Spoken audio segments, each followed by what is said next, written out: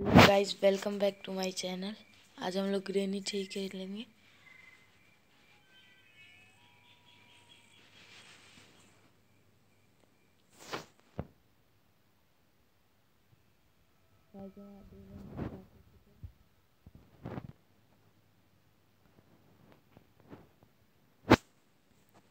और हम लोग एक रूम में कैद हैं।